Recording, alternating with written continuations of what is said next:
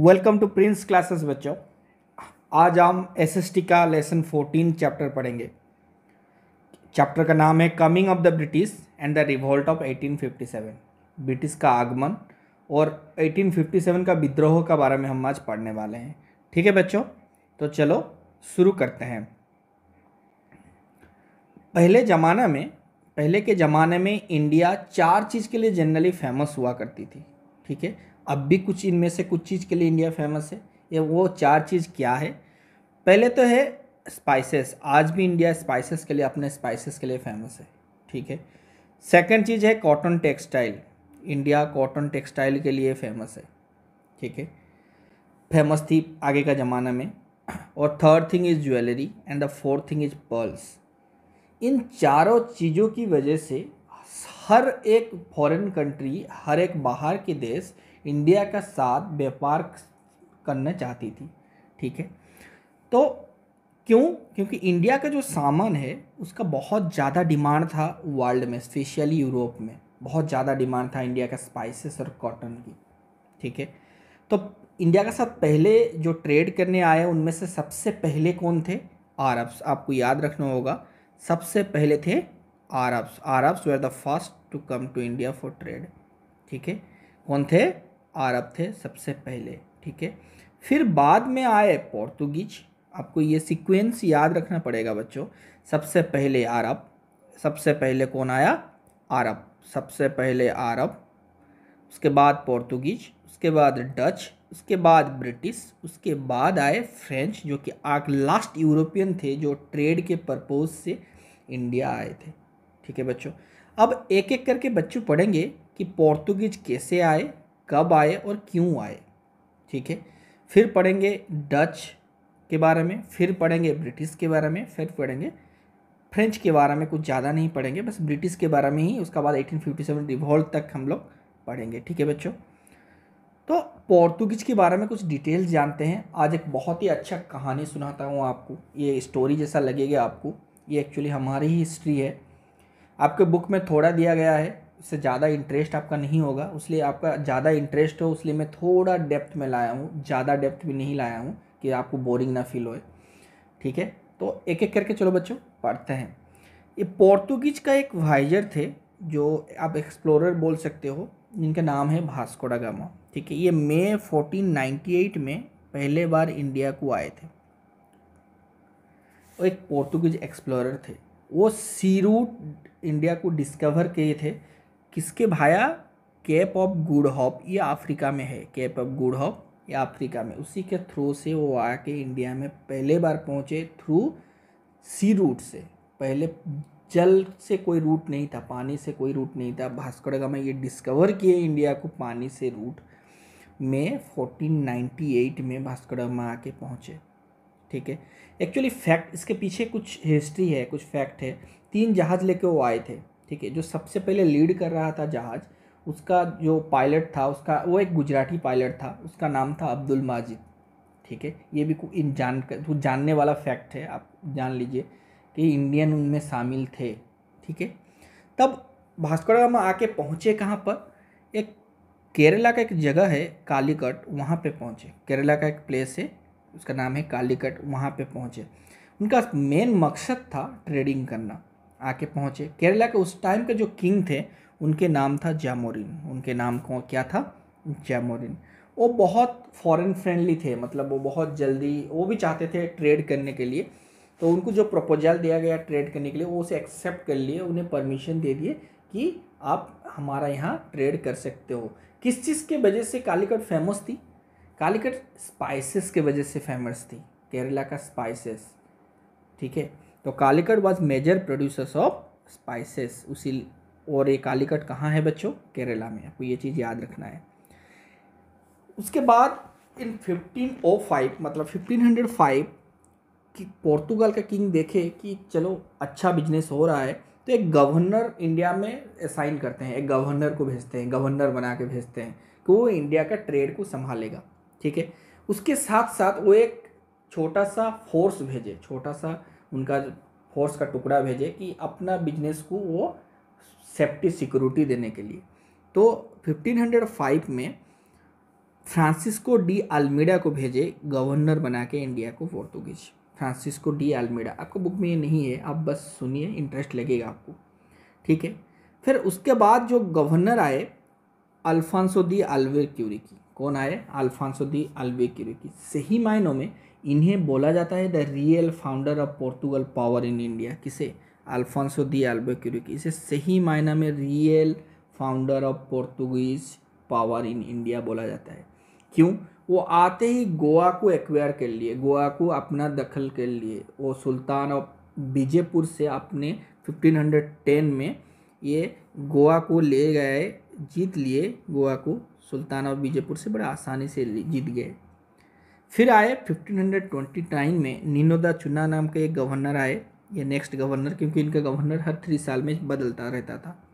यह अपना हेडक्वार्टर कोचिन से गोवा ले गए। यह अपना हेडक्वार्टर कोचिन से गोवा ले गए। ये थोड़ा बहुत जानकारी पोर्तुगीज के बारे में मैंने दे दिया, क्योंकि वो पहले यूरोपियंस थे जो कि दूसरा यूरोपियंस थे आफ्टर अरब्स तो छोड़ दीजिए। अब पोर्तुगीज द पहला यूरोपियंस थे जो अरब नहीं, पोर्तुगीज जो पहला यूरोपियंस थे जो इंडिया में आए हुए थे, जो इंडिया को सी रूट के थ्रू से आए हुए थे तो उनके बारे में मैंने कुछ डिटेल्स आपको दे दिया, इसीलिए दे दिया। अब चलो नेक्स्ट किसने आए थे? पहले अरब फिर पोर्तुगीज, फिर आए थे डच, ठीक है? ज़्यादा नहीं पढ़ना है हमें डच के बारे में, बस इतना आप जान लीजिए कि ये जो डच है, ये डच के आप दूसरे ये कॉर्नलिस डी हॉन्टमैन ये फ़र्स्ट डचमैन थे जो कि सुमात्रा और मंतम में 1596 में आए थे। ठीक है? Dutch founded their first first factory in muesli Masulipatnam in 1605 मतलब 1605 में ये पहले अपना फैक्ट्री एस्टेब्लिश किए थे डच ये मुसलीपट्टनम आंध्र प्रदेश में है बच्चों। ठीक है? ये आप डच पहली बार उसके बाद आए थे। पहले पोर्तुगीज पहले अरब फिर पोर्तुगीज फिर डच फिर किसके बारे में पढ़ते हैं बच्चों? ब्रिटिश और फ्रेंच के बारे में।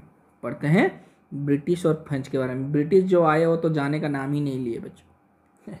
French French the last man जो कि आए हुए थे इंडिया में। फ्रेंच जो यूरोपियंस आए हुए थे आखिरी यूरोपियंस थे फ्रेंच। और अब ब्रिटिश के बारे में पढ़ेंगे, कुछ डिटेल्स में पढ़ेंगे, क्योंकि 300 साल रह के गए तो उनके बारे में तो जानना ज़रूरी है। 1600 में लगभग वो आए थे, ट्रेड करने के लिए, गए 1947 में छोड़ के। तो 300 साल का उनका सफ़र था इंडिया में। तो उनके बारे में तो डिटेल्स में पढ़ेंगे, आगे चल के जब बड़े होंगे आप तो और भी डिटेल्स में पढ़ेंगे। मैं कुछ आपको मज़ेदार इन्फॉर्मेशन देने की कोशिश किया हूँ। चलो, पढ़ते हैं बच्चों। 1600 में कुछ ब्रिटिश मार्चेंट्स थे जो व्यापारी थे, वो मिल के ईस्ट इंडिया कंपनी बनाए थे। कि कौन सा कंपनी बनाए थे बच्चों? ईस्ट इंडिया कंपनी बनाए थे।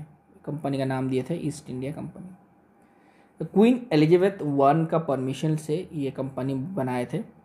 उस टाइम के वो क्वीन हुआ करती थी। यह कुछ चार्टर मिल गया, उन्हें परमिशन मिल गया। उसके बाद वो आ गए इंडिया अब इंडिया में मुग़ल एम्पायर जहांगीर से उन्हें बिज़नेस करने के लिए परमिशन मिल गया ट्रेड करने के लिए। ये इतना आसान नहीं था, इसका सफ़र आप जब पढ़ेंगे तो आप धीरे धीरे जानने आपको मिलेगा कि पहले परमिशन उन्हें नहीं मिला, फिर कैप्टन हॉकिंग्स पहले आए हुए थे। फिर सार थॉमस रो को भेजा गया। अब डिटेल्स में बाद में जितना बड़ा होते चले जाएँगे, तब पढ़ेंगे। एनी हाउ उन्हें परमिशन मिल गया। फिर वो अपना फैक्ट्रीज अपना ट्रेड सेंटर्स बॉम्बे और माड्रास में एस्टाब्लिश करने लगे। ठीक है बच्चों? तो इस तरह से ब्रिटिश इंडिया में आ गए। ठीक है? ज़्यादा डिटेल्स धीरे धीरे करके पढ़ेंगे। तो पहले फ्रेंच के बारे में कुछ जान लेते हैं। ये लास्ट यूरोपियंस था क्वेश्चन आ सकता है बच्चों। लास्ट यूरोपियंस कौन थे? लास्ट यूरोपियंस बच्चों फ्रेंच थे, जो इंडिया को अब ट्रेड का परपोज में आए हुए थे। लास्ट यूरोपियन थे French French were the last Europeans to come to India with the purpose of trade वो 1667 में आए थे। उनका हेड कौन था? फ्रांकोइस कैरोन फ्रांकोइस कैरोन ये उनके हेड हुआ करते थे। The first establish the factory at Masulipatnam 1669 में। मुसलीपट्टनम में अपना पहला फैक्ट्री बनाया लाइक डच इनका भी पहला फैक्ट्री 1669 में मुसलीपट्टनम में ही था, ये आंध्र प्रदेश में है। The French to set up a trading company in establish centre in Chandannagar in Bengal and Pondicherry. Chandannagar in Bengal and Pondicherry. फिर उनके ब्रिटिश के साथ फाइट होता है और वो पौंडीचेरी में सीमित होकर रह जाते हैं। बंगाल ब्रिटिश ले जाते हैं। क्योंकि बंगाल बहुत मेजर डेस्टिनेशन था ट्रेड करने के लिए, ठीक है? हर किसी को बंगाल पसंद था। इन बंगाल की वजह से दो दो काफ़ी फ़ेमस हिस्ट्रिकल फाइट लड़े जाएँगे आगे। इस सब्जेक्ट में है आपका बैटल ऑफ़ प्लेसी पढ़ेंगे हम लोग, फिर बैटल ऑफ़ बक्सर के बारे में पढ़ेंगे, ठीक है बच्चों? तो चलो, हम नेक्स्ट पढ़ते हैं। बैटल ऑफ़ प्लेसी के बारे में। Battle of Plassey. बच्चों, ये जो बैटल ऑफ़ प्लेसी होता है तो आपको एक चीज़ मैं बता दूँ, ये बैटल ऑफ़ प्लेसी, ये एक्चुअली बंगाल में है, ये एक प्लेस का नाम है, प्लेसी। इसको पलासी भी कहते हैं, ठीक है? पलासी भी, इसका नाम क्या है बच्चों? एक्चुअली बैटल ऑफ़ प्लेसी मतलब इसको पलासी भी कहते हैं। क्या कहते हैं बच्चों? इसका दूसरे नाम एक्चुअली अभी का नाम है पलासी। ये वेस्ट बंगाल में है बच्चों, ये वेस्ट बंगाल में है, ठीक है? ये battle of Plassey was fourteen June twenty three seventeen fifty seven में। आपका बुक में सिर्फ़ सेवनटीन फिफ्टी सेवन दिया है तो ये भी जान रखिए June twenty three seventeen fifty seven में रिज़ल्ट डिक्लेयर होता है एक्चुअली बिटवीन द किस किस किस किस के साथ ये बैटल हुआ था? उस टाइम पे जो नवाब बंगाल के थे, नवाब ऑफ़ बंगाल उनका नाम था सिराजुद्दौला, ठीक है? ये सिराजुद्दौला का साथ एंड ब्रिटिश आर्मी के बीच में बैटल ऑफ़ प्लेसी हुआ था। लेकिन बच्चों, इसका कुछ कुछ जानने वाली आपको बात मैंने लिख रखा है। ब्रिटिश आर्मी जो हुआ था ना बच्चों, ये जो British army British army single army नहीं थी, क्योंकि मीर जाफ़र सॉरी, ये जो सिराजुद्दौला है, ये इनके पास बहुत सोल्जर्स थे, करीबन फिफ्टी थाउज़ेंड सोल्जर्स थे ट्रेंड सोल्जर्स थे। उन्हें मुट्ठी भर ब्रिटिश हरा नहीं पाते, कभी नहीं हरा पाते। तो फिर इस बैटल ऑफ़ प्लेसी में सिराजुद्दौला डिफीट क्यों हुए? घर के दुश्मन के वजह से। सिंपल लॉजिक है। जब भी कोई भी बड़ा युद्ध, कोई भी जीता है, इतिहास गवाह है, अपने घर में ही कोई ना कोई अपना दुश्मन रहता है जो उन्हें मदद करता है। तो ब्रिटिशर्स को मदद कौन लोग किए? मीर जाफ़र किए, राय दुर्लभ, जगत सेठ एंड ओमी चाँद। इन चारों ने ब्रिटिश को हेल्प किया, जिसके वजह से इतना बड़ा फिफ्टी थाउज़ेंड सोल्जर्स रहने का बावजूद भी नवाब ऑफ़ बंगाल सिराजुद्दौला डिफीट हुए थे बैटल ऑफ़ प्लेसी में। क्यों? इनका इनका फ़ायदा क्या था? इंग्रेज बोले, अगर आप हमें हेल्प करोगे नवाब ऑफ़ बंगाल को डिफीट करने के लिए तो हम मीर जाफ़र को बोले, हम आपको किंग बना देंगे। आप उस जगह का नवाब बन जाओगे। मीर जाफ़र को उस टाइम गद्दी का लोभ हर किसी को था, बड़ा ग्रीडी था वो। तो बोला, चलो, इससे अच्छा डील क्या हो सकता है? तो ये इतना बड़ा फिफ्टी थाउज़ेंड का आप सैनिक रहते रहते, अपना सोल्जर्स रहते हुए भी मीर जा सिराजुद्दौला आखिर में ये हार जाता है। ये बैटल हार जाता है। तो as per the promise promise जैसा उन्होंने किया था, उस प्रमिस के उसके बाद कौन किंग हुआ होगा? मीर जाफ़र किंग हुआ होगा। As a result of this victory Mir Jafar become the Nawab of the Bengal उसके बदल में मीर जाफ़र क्या देगा? ब्रिटिश का फ़ायदा क्या है? वो बहुत चलाक है। उन्हें क्या मिलेगा? Mir Jafar gave a large sum sum money पैसा दिया प्लस क्या दिया? The zamindari of twenty four parganas of the English zamindari दे दिया छब्बीस प्रगना जो आप उसमें से टैक्स आप कलेक्ट कर पाओगे। ठीक है? ये था बैटल ऑफ़ प्लेसी का कुछ हिस्टोरियन बात। आप ये याद रखोगे कि नवाब बंगाल सिराजुद्दौला और ब्रिटिश का आर्मी के बीच में हुआ था, लेकिन ब्रिटिश आर्मी में भी चार जन मिले हुए थे, मीर जाफ़र, मीर जाफ़र रायदुल्लब जगत सेठ और ओमी चाँद, ठीक है? ये बात आप ध्यान में रखेंगे, ठीक है? देन नेक्स्ट पढ़ेंगे बैटल ऑफ़ बक्सर ये एक इंपॉर्टेंट प्लेस है। बक्सर बच्चों बक्सर कहाँ है? हर प्लेस कोई ना कोई जगह में तो लड़ा होगा, जैसा हम लोग पढ़े प्लेसी मतलब पलासी वेस्ट बंगाल में है। वैसे बक्सर कहाँ है बच्चों? बक्सर बिहार में है बच्चों। बक्सर बिहार में है बच्चों। कहाँ है? बिहार में है Buxar. Battle of Buxar took place in 1764 1764 में हुआ था। ये मीर कासिम तीन जन मिल के लड़े थे। मीर कासिम अवध का राजा सुजाउदुल्ला और मुग़ल का राजा शाह आलम टू। ये तीन जन मिल के ब्रिटिश के साथ लड़े, फिर भी हार गए। ये मीर कासिम कौन है बच्चों? ये जो मीर जाफ़र था ना बच्चों, मीर जाफ़र था, ये Mir Qasim was the son in law of Mir Jafar, उनके जमाई थे। ठीक है, ये मीर कासिम उनके जमाई थे। किसके? मीर कासिम मीर जाफ़र की जमाई थे, जो कि मीर जाफ़र मीर जाफ़र कौन? याद गिरा बच्चों? जो कि बैटल ऑफ़ प्लेसी में ब्रिटिशर्स को हेल्प किए थे सिराजदुल्ला को डिफीट करने के लिए, सिराजदुल्ला को हराने के लिए जिसने मदद किए थे, उनके जमाई थे मीर कासिम, लेकिन ये उनके खिलाफ जंग छेड़ दिए। तीन जन मिल के भी उन्हें हरा नहीं पाए। ठीक है बच्चों the combined armies they are defeated by the English force under English का तरफ़ से किसने लड़ा लड़ा, लड़ाई लड़ी थी? मेजर हेक्टर मुनरो ने। एट बक्सर में October twenty two, seventeen sixty four में इन्होंने हार गए थे। ये हार गए थे। ठीक है बच्चों बैटल ऑफ़ बक्सर में इनका हार हुआ था। किसका? बैटल ऑफ़ बक्सर में जो तीन जन मिल के लड़े थे, मीर कासिम, नवाब अवध, जो कि सुजाउद्दौला थे, और मुग़ल एम्पर शाह आलम। ठीक है बच्चों? चलो। उसके बाद विक्ट्री तो हो गया। अब बंगाल मिल गया, बिहार मिल गया मतलब बंगाल का सारा लगभग इलाका मिल गया। उसका बाद British started extending their territories through various policies अब ब्रिटिश को पावर थोड़ा बहुत मिलने लग गया था। अब वो चाहते थे अपना एरिया बढ़ाते चले जाएँगे। तो उसके लिए काफ़ी सारा पॉलिसीज़ लाए। उनमें से दो पॉलिसीज़ के बारे में हम लोग पढ़ेंगे। एक था डॉक्टरिन ऑफ़ लैब्स और दूसरा था सब्सिडी अलायंस इन दोनों के बारे में हम पढ़ेंगे। तो पहले पढ़ेंगे doctrine of lapse a doctrine of lapse बोला जाता है, लॉर्ड डेली हाउस इंट्रोड्यूस किए थे, लेकिन ये सही नहीं है, क्योंकि उनके पीरियड में ये आया था, तब बोलते हैं कि Lord Dalhousie is the originator of doctrine of lapse लेकिन ये सच्चाई नहीं है, फिर भी आप याद रखना, अगर कभी कोई आपको पूछ दे, जैसे कि सब्सिडरी अलायंस बुक में मेंशन है, लॉर्ड रिचर्ड वेल्सेली लाए थे subsidiary alliance Lord Richard Wellesley लाए थे। तो आपको कोई पूछ देंगे डॉक्टर ऑफ़ लेफ़्ट किस, किसके पीरियड में आया था? तो ये लॉर्ड डेली हाउस के पीरियड में आया था। लेकिन ये एक ओरिजिनेटर नहीं थे, ठीक है?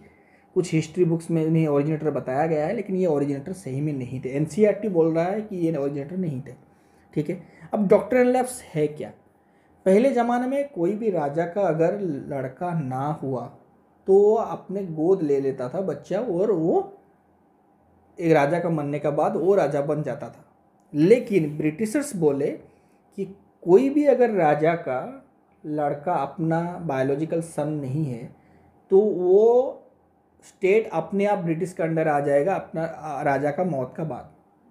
ठीक है? इसे बोलते हैं doctrine of lapse according to this policy the British declared that if a king died without a natural heir his kingdom would be taken over by the British इससे उन्हें झांसी मिल गया। नागपुर मिल गया, और भी बहुत सारे छोटे छोटे स्टेट उन्हें मिल गया, ठीक है? अब पढ़ेंगे सब्सिडरी अलायंस ये बहुत ही क्रिटिकल पॉलिसी है लॉर्ड वेल्सली का लॉर्ड रिचर्ड वेल्सली का वो गवर्नर जनरल थे इंडिया के गवर्नर थे 1798 से 1805 तक। इस पॉलिसी में हुआ, ये चार स्टेज के थ्रू से ये पॉलिसी आपको बुक में नहीं दिया गया है, जब बड़े होंगे तब पढ़ेंगे आप, ये चार स्टेज में पॉलिसी थी।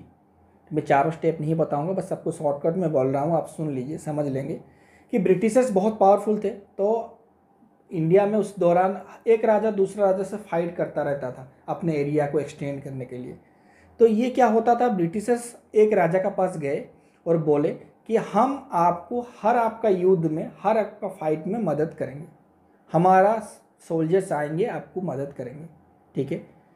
तो किंग एग्री हो गया कि चलो, इसके बदल में हमें क्या होगा कि हमारा एक छोटा सा टुकड़ा, सैनिक का एक टुकड़ा, एक सोल्जर्स का एक ग्रुप आपका यहाँ रखना पड़ेगा कि आपको अचानक कोई अटैक कर दे तो आपका सोल्जर्स उतना ट्रेंड नहीं है। हमारा सोल्जर्स ज़्यादा ट्रेंड है तो उन्हें रखना पड़ेगा। ये इससे करके वो घुसते थे। फिर बोलते थे कि आपका सोल्जर्स को हम ट्रेंड करेंगे। इससे करके वो उनका जो सोल्जर्स थे उन्हें ले जाते थे, अपने ट्रेंड करते थे। फिर राजा को देते थे। लेकिन जब वो राजा को देते थे, तब बोलते थे कि हम आपका सोल्जर्स को ट्रेंड किए। हमारा मनी एक्सपेंडिचर हुआ, हमारा टाइम एक्सपेंडिचर हुआ, इसके बदल में हमें कुछ चाहिए। क्या चाहिए? हमें आपका आदमी और नहीं चाहिए। हम आपको प्रोटेक्शन देंगे, हम आपका सोल्जर्स को ट्रेंड करा दिए। आपको किसी से डरने की कोई ज़रूरत नहीं है। इसके बदले में हमको मनी चाहिए। मनी कहाँ से आएगा? टैक्स से आएगा। इतना ज़्यादा टैक्स चार्ज करते थे कि राजा दे नहीं पाते थे। तो राजा जब दे नहीं पाते थे, वो एक एक टुकड़ा लेके चले जाते थे। इतना टुकड़ा हमारा नाम कर दो, अब तुम्हारा टैक्स माफ़ हो गया। इतना टुकड़ा हमारा नाम कर दो आपका टैक्स माफ़ हो गया। ऐसे करते करते पूरा राज्य ले बैठते थे। इसे बोलते थे सब्सिडरी अलायंस ये बहुत ही, इसमें से काफ़ी सारा स्टेट को लेने में कामयाब हो गए थे। याद रखना बच्चों निज़ाम ऑफ़ हैदराबाद पहले स्टेट था, जो कि चला गया था, एक्सेप्ट कर लिया था, अलायंस को पहले एक्सेप्ट कर लिया था, रूल ऑफ़ तंजौर, पेशवा, भोंसले राजा और बेरार, सिंधिया, राजपूत का जितना स्टेट थे लाइक जोधपुर, जयपुर, मचेरी, बूंदी, भरतपुर, ये सब एक्सेप्ट कर लिए थे कि हमें, हमारा जो एनिमीज है उनसे आप प्रोटेक्शन दो और आप जो चाहिए, वो मर्ज़ी कर लो। The Holkars were the last Marathas confederation to accept the subsidiary alliance ये आपको याद रखना नहीं है, आपको बुक में नहीं है, बस आपको जानकारी के लिए कि ये सब्सिडरी अलायंस बहुत सारा स्टेट को एक्सेप्ट कर लिए थे। क्यों? क्योंकि उनको आस वाला अपना एनिमी से अपना स्टेट को गंवाना नहीं था, चाहे ब्रिटिश ही ले ले, उनसे कोई मतलब नहीं है। ठीक है? उसके बाद बच्चों ब्रिटिशर्स का एरिया बढ़ते चला गया। जैसा एरिया बढ़ते चला गया मोनोपोली बढ़ता चला गया वो ज़्यादा से ज़्यादा एक्सप्लोटेशन करना शुरू कर दिया। एक्सप्लोटेशन का मतलब क्या है? जुल्म बढ़ाना चले गए बढ़ाते चले गए। कैसे जुल्म बढ़ाते चले गए? India once they were firmly established in India, the British started using many unfair means to achieve their aim to getting rich. ज़्यादा से ज़्यादा पैसा कमाने के लिए। वो बहुत सारा ऐसा काम किए जो कि इंडियन इकोनॉमी को और भी वीक से वीकर करता चला गया। पहले बात फार्मर से वो लोग शुरू किए। फार्मर को टॉर्चर करना शुरू किए। कैसे? बहुत हैवी टैक्सेस लगा दिए। चाहे आपका फ़सल उजड़ गया हो, आपका फ़सल कुछ भी ड्रॉट के वजह से या फ्लड के वजह से, कुछ भी वजह से आपका फ़सल हो या ना हो, आपको certain amount of high amount of taxes देना पड़ेगा। इससे हुआ क्या? फार्मर और भी गरीब होता चला गया बिकम वेरी फो उसके बाद आए जो हैंडक्राफ्ट्स करते थे, जो वेवर थे, उनके ऊपर। उनके जो क्लॉथ थे, वो बहुत कम दाम में बेचेंगे वेवर और ब्रिटिश से जो क्लॉथ आते थे, वो बहुत हाई रेट में बेचेंगे। ब्रिटिश से क्लॉथ से एक बात आपको जानना चाहिए ज़रूरी है। ब्रिटिश में मतलब इंग्लैंड में बहुत ज़्यादा ठंड होती है तो वहाँ पर कॉटन नहीं उगेगी। कॉटन को हॉट क्लाइमेट चाहिए हॉट एंड ड्राई क्लाइमेट तो इंडिया से कॉटन ले जाते थे। फिर अपना फैक्ट्री में आप कपड़े बनाते थे और इंडिया पे आके हाई रेट में सेल करते थे। ये इनका पॉलिसी था। ठीक है? और सबसे इंपॉर्टेंट बात है कि इंडिया में वो फैक्ट्री एस्टेब्लिश करने नहीं देते थे इंडियंस को। कोई भी इंडियंस अपना इंडिया में फैक्ट्री नहीं बना पाएगा। ठीक है? तो इसी वो एक्सपोर्टेशन करते रहे। ठीक है? इसका रिज़ल्ट क्या हुआ? जब इतना एक्सपोर्टेशन करेंगे तो रिवोल्ट ऑटोमेटिक आएगा बच्चों। आपको कोई भी जाति करेगा, आपको कोई भी इतना हैरान परेशान करेगा तो आप तो आवाज़ उठाओगे। कितना सहने का एक लिमिट होता है, कितना सहेंगे। फिर आया द ग्रेट रिवोल्ट ऑफ़ 1857 ये इंडियन हिस्ट्री में ग्रेट कोई सिपाही विद्रोह को बोलता है, पहला स्टेप तो कोई बोलता है, ए सॉरी कोई बोलता है पाइक पाइक मतलब रिविलियन पाइक रिविलियन को बोलता है, पहला स्टेप इंडिया का इंडिपेंडेंस में। कोई बोलता है, कोई हिस्ट्रियन बोलता है कि ये जो revolt of fifty eighteen fifty seven होता है, इसे बोलते हैं। पहला स्टेप इंडियन इंडिपेंडेंस में। चलो, पहले से हमको कोई मतलब नहीं है। हम पढ़ेंगे revolt of eighteen fifty seven उसका कॉज पढ़ेंगे, कैसा एग्जीक्यूट हुआ वो पढ़ेंगे, और आखिर में क्यों ये फेल्ड हो गया, उसके बारे में कुछ पॉइंट्स पढ़ेंगे। ध्यान से सुनना बच्चों, ये आपका काम देगा।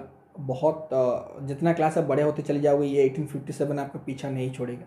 ठीक है इवन क्लास नाइन्थ टेंथ में भी आपका पीछा नहीं छोड़ेगा। ठीक है तो पढ़ते हैं कुछ मेजर कॉजेस तो बच्चों मेजर कॉजेस में क्या है? पहला मेजर कॉजेस है इकोनॉमिक कॉजेस इकोनॉमिक कॉजेस मैंने बताया आपको। अभी जो बताया, वो था इकोनॉमिक कॉजेस फार्मर्स वीक से फार्मर्स पोर से पोर होते गए हैवी टैक्सेस उनके ऊपर लेविस कर दिया गया.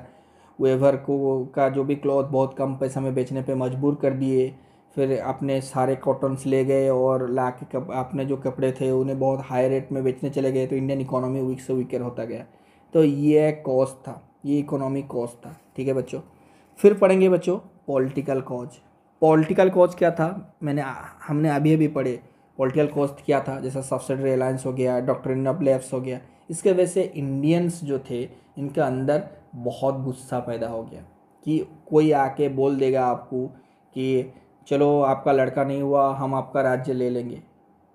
ऐसा थोड़ी ना होता है। तो इंडिया के अंदर एंगर बढ़ता चला गया। फिर सब्सिडरी अलायंस भी सेम इफ़ेक्ट डाला इंडियंस के अंदर।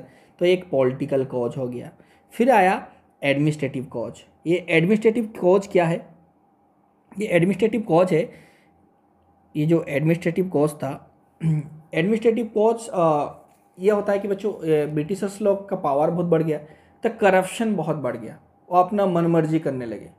जिसे चाहे कोई लॉ नहीं था सर्टन अमाउंट ऑफ़ लॉ नहीं था अपना मर्ज़ी से लॉ बना दिए, किसी को कोई भी पनिशमेंट दे दिए, छोटा सा बात के लिए आप उसको फांसी पे लटका दिए, उसका गोली मार दिए, कुछ भी कर दिए, ये करप्शन बढ़ गया था और अपना मर्ज़ी से शासन करने लगे थे। तो ये एक रिवोल्ट का बीच बो रहा था, ठीक है? फिर आया सोशल रिलीजियस कॉजेस बच्चों, ये आपका बुक में नहीं है, आप समझो बच्चों, ये बहुत इंपॉर्टेंट है, ठीक है? सोशल रिलीजियस कॉजेस क्या होता है? सोशल रिलीजियस क्या है? उस टाइम बहुत सती प्रथा बाल विवाह प्रथा, आपका विडो मेरी मैरिज एक्ट वुमेंस का एजुकेशन ये सब इन ब्रिटिशर्स लोग इंट्रोड्यूस किए कि सती प्रथा को आपको बंद करना पड़ेगा। सती प्रथा क्या है? सती प्रथा है, अगर एक हस्बैंड का इंतकाल हो जाता है तो वाइफ को अपना जान खुद में देना पड़ेगा। खुद से देना पड़ेगा उसका, उस एक पति मर जाने के बाद उसका उसका अपना जान, अपना उसके चिता के, चिता का आग में देना पड़ेगा। ये एक बहुत ही क्रूअल रिचुअल्स था इंडिया में, उसे ब्रिटिशर्स लोग बंद करवा दिए थे। तो कुछ हिंदू सोचे, कुछ जो हिंदू रिलीजन्स में बेसिकली था तो हिंदू रिलीजन्स वाले सोचे कि वो क्यों है ब्रिटिश लोग ब्रिटिशर्स क्यों आके हमारा रिलीजन हमारा ट्रेडिशन को चेंज करने का कोशिश कर रहे हैं? ठीक है, उनको ये गुस्सा दिला दिया। फिर था और जो विधवा बन जाते थे, जो उन्हें दोबारा मैरिज करने का जो विडो थे, कोई परमिशन नहीं था। ब्रिटिश बोले कि वो एक्ट लेके आ गए कि हाँ उन्हें मैरिज दोबारा करने का हक है। फिर वोमेंस का एजुकेशन को इंट्रोड्यूस कर दिए, जो कि इंडियंस को पसंद नहीं आया।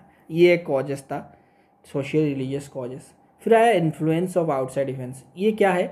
जो फ़र्स्ट अफगान वार हुआ था, जैसा कि आपका पंजाब वार हुआ था, और भी छोटे मोटे कुछ वार हुए थे, उससे इंडियंस को ये पता चल गया था कि ब्रिटिश को हराना पॉसिबल है इम्पॉसिबल नहीं है, ब्रिटिश इतना पावरफुल नहीं है, जो कि उनको हराया नहीं जा सकता। फिर आया डिसकंटेंट एमंग सिपोइस सिपोई लोग को एक पर्टिकुलर टाइम पीरियड के लिए दिया गया था कि वो फॉरेन में जाएँगे मतलब अपना देश से बाहर जाएँगे, समुंदर पार जाना पड़ेगा उन्हें, कुछ पीरियड सर्विस वहाँ देना पड़ेगा। तो ये सोचते थे इंडियंस कि अगर समुंदर पार हो जाएँगे, उनका कास्ट चले जाएगा। वो अपना कास्ट में नहीं रहेंगे। तो ये एक आ, मतलब रिवोल्ट का बीच बोता रहे बोता चला गया ठीक है? अब डिटेल्स में पढ़ते हैं ये स्पार्क कहाँ से शुरू हुआ? स्पार्क समझते हो ना बच्चों? पहले सबका दिल में गुस्सा है सबका दिल में एंगर है अब कोई तो स्टार्ट करना चाहिए। कौन स्टार्ट पहले करेगा? ठीक है? ये स्टार्ट किसने किया था? The revolt was started by the Indian soldiers in the British army. India का जो सोल्जर्स थे जो ब्रिटिश आर्मी में वो स्टार्ट किए थे। ठीक है। इसका एग्जैक्ट रीजन क्या है? The introduction of the Enfield rifle ये एक राइफल है। ये र्यूमर स्प्रेड दैट ये राइफल का जो गोलियाँ होते थे जो कार्टिजेस होते थे उनके अंदर एक, उसके ऊपर एक काव और पीक का एक कोटेड रहता था। उसके ऊपर एक आ, फेट काव फेट और पीक्स फेट का एक कोटेड रहता था जिसे अपने मुँह से छिंड उसे छिन मुँह से बाइट करने के बाद उसे निकालने के बाद गन के अंदर उसे डालना पड़ता था। इसका मतलब तो क्या हुआ? जो इंडियन का हिंदू और मुस्लिम सोल्जर्स थे, वो सोचे, जो ये अपना रिलीजियस सेंटिमेंट्स के अगेंस्ट है ठीक है? तो उन्हें वो मना कर दिया कि नहीं, हम ये यूज़ नहीं करेंगे, ठीक है? The nineteen native infantry at Berhampur which refuse to use the newly introduce Enfield ये पहले था नाइनटीन नेटिव इन्फेंट्री बरहमपुर के थे। बरहमपुर ये पहला ऐसा एक यूनिट था जो पहले बार मना कर दिया, हम एनफील्ड राइफल को नहीं यूज़ करेंगे, ठीक है? एनफील्ड राइफल को ये हम नहीं यूज़ करेंगे। फिर मंगल पांडे के बारे में आप लोग सबको जानते हो, वो थर्टी फोर्थ नेटिव इन्फेंट्री से मंगल पांडे थे, जिन्होंने कि और एक कदम आगे जाके वो क्या करे, अपना सर्जन मेजर को गोली मार दिया बैरकपुर में, ठीक है? वेंट वो एक कदम आगे चले गए थे और अपना मेजर को गोली मार दी। फिर उन्हें काबू कर लिया गया। फिर एक छोटे छोटे छोटे, बड़े ऐसे होते चला गया। जितना इंडिया का सोल्जर्स थे, ब्रिटिश के आर्मी में, वो अपना रिवॉल्ट दिखाते चले गए। ठीक है, बच्चों। मंगल पांडे थर्टी फोर्थ जिन्हें जानना चाहिए, दिल है, दिलचस्पी है थर्टी फोर्थ नेटिव इन्फेंट्री से थे। इन्होंने अपने नेटिव इन्फेंट्री से थे। अपने मेजर को गोली मार दिया था। फ़िल्म है मंगल पांडे के ऊपर। अगर किसी ने देखा होगा तो बहुत अच्छा बात। ठीक है बच्चों? उसके बाद रिवोल्ट एग्जैक्टली स्टार्ट हुआ था मेरठ से। कहाँ से बच्चों? मेरठ से स्टार्ट हुआ था। मेरठ है कहाँ बच्चों? Fifty eight kilometre from Delhi May ten eighteen fifty seven में ये हुआ था। उसके बाद तुरंत ही ये नॉर्दर्न एंड सेंट्रल इंडिया को चला गया था स्प्रेड कर गया था। उसके बाद फार्मर्स ज्वाइन कर गए क्राफ्ट पर्सन ज्वाइन करे other sections of the Indian society भी धीरे धीरे ज्वाइन करने लगे, लेकिन एवरी सेक्शन ज्वाइन नहीं किए थे बच्चों। ये एक सबसे बड़ा ड्रॉबैक्स था, ठीक है? बहुत ज़्यादा सेक्शन ज्वाइन किए थे, लेकिन हर सेक्शन नहीं। और ये देखिए नॉर्दर्न इंडिया सेंट्रल इंडिया को स्प्रेड किया था। South India west India east India नहीं किए थे बच्चों, ठीक है? The Indian soldiers overthrew their superiors and march to Delhi Delhi का जो बहादुर शाह जाफ़र था, जो लास्ट मुग़ल एम्पायर उसे जाके अपना किंग डिक्लेयर कर दिए। ठीक है? उसे जाके अपना किंग डिक्लेयर कर दिया उसमें इंडियन रूलर्स रानी लक्ष्मीबाई झांसी से थे, नाना साहेब, तांतिया टोपे, कुंवर सिंह, ऐसे बहुत सारे किंग उसमें जॉइन किए। ये दो साल तक चला, उसके बाद, ये दो साल के बाद ब्रिटिश उसे फिर से क्रस्ट कर दी ये दो साल तक फाइट किए इतना बड़ा स्टेप लिए, लेकिन ये फेलियर हो गया। क्यों फेल हुआ बच्चों? इसे डिटेल्स में तो नहीं पढ़ेंगे बच्चों, बस आप रीजन जान लीजिए। जो पाँच रीजन की वजह से बेसिकली फेल हुआ था all Indian participants was absent all India participants नहीं था बच्चों। सिर्फ़ सेंट्रल इंडिया नॉर्दर्न इंडिया था ईस्ट वेस्ट और साउथ नहीं थे। All classes did not join her class के इंसान ज्वाइन नहीं किए थे। हर क्लास के इंसान ज्वाइन नहीं हर क्लास मेरा मतलब जो रिच क्लास के हैं, जो बहुत पैसे वाले थे, वो ज्वाइन नहीं किए थे। सिर्फ़ पोअर क्लास के आदमी जो सफ़र हो रहे थे, जो फार्मर्स जो वेफर्स वो ही ज्वाइन किए थे। जो लैंडलॉर्ड्स थे, जो महाजन थे, वो नहीं आए थे इसमें। उन्हें नहीं चाहिए था। वो वो चाहते थे कि ब्रिटिश रहे वो ब्रिटिश का काम करेंगे, ठीक है? पो आर्म्स एंड इक्विपमेंट्स वो बंदूक से लड़ते थे। हम तरवाल से लड़ेंगे। कब तक लड़ेंगे भाई? हमारा आर्म्स इतना स्ट्रांग नहीं था इक्विपमेंट्स इतना स्ट्रांग नहीं था, ठीक है? Then uncoordinated and poorly organize कोई डिसीज़न पहले से प्री डिसीज़न प्री प्लान कुछ नहीं था। सडनली उठे, एक रिवॉल्ट शुरू कर दिए, कोई कोऑर्डिनेट नहीं, कोई ऑर्गेनाइजेशन नहीं, कुछ नहीं, किसी को भी किंग बना दिए, जो बूढ़ा सत्तर साल, अस्सी साल का बूढ़ा है, उसे जाके किंग बना दिए। कोई कुछ ऑर्गेनाइजेशन कुछ ऑर्गेनाइज वे में नहीं हुआ था। नो अनफिल्ड आइडियोलॉजी ये क्या है? हर किसी का आइडियोलॉजी सेम नहीं था। कोई चाहता था अपना राज्य वापस चलने के लिए, लेने के लिए। कोई चाहता था कि ब्रिटिशर्स को हमारा ऊपर बहुत टॉर्चर किया है तो हम उन्हें टॉर्चर करेंगे। हर किसी का आइडियोलॉजी ये नहीं था कि ब्रिटिशर्स को अपने देश से उखाड़ फेंकेंगे। ये आइडियोलॉजी नहीं था हर किसी का। और जो जिस, सबका अलग अलग मकसद था। सबका आइडियोलॉजी अलग अलग था। इसीलिए ये बैटल हम लोग हार गए थे। इस बैटल दो साल लड़ने के बाद भी हम लोग ये बैटल हार चुके थे। The revolt was a turning point in Indian history हुआ है ये क्यों इंडियन हिस्ट्री में एक टर्निंग पॉइंट है? इसीलिए क्योंकि इससे दो चीज़ सामने निकल के आई। पहला ईस्ट इंडिया कंपनी का रूल जो था, वो ख़त्म हो गया। इसका मतलब क्या ब्रिटिश छोड़ के हमें चले गए? नहीं बच्चों। ये हम लोग डायरेक्ट कंट्रोल में आ गए ब्रिटिश क्राउन का। ब्रिटिश में जो शासन चलता था, जो लॉ था, एक कॉन्स्टिट्यूशन था, उसके अंडर में हम लोग आ गए। अपना मन मर्ज़ी तो नहीं कर पाएँगे अब। ईस्ट इंडिया कंपनी वालों जो हमें जो करते थे। क्योंकि हम एक रूल के अंडर आ गए, एक डायरेक्ट ब्रिटिश क्राउन के अंडर आ गए। ये सबसे बड़ा मेजर प्रॉब्लम था। हम लोग अब स्ट्राइक कर सकते हैं। हमारा ग्रीवेंसेस उनका तक पहुँचा सकते हैं। अब धीरे धीरे पेपर मीडिया आएगा इलेक्ट्रॉनिक्स मीडिया सब मीडिया धीरे धीरे धीरे धीरे आएगा।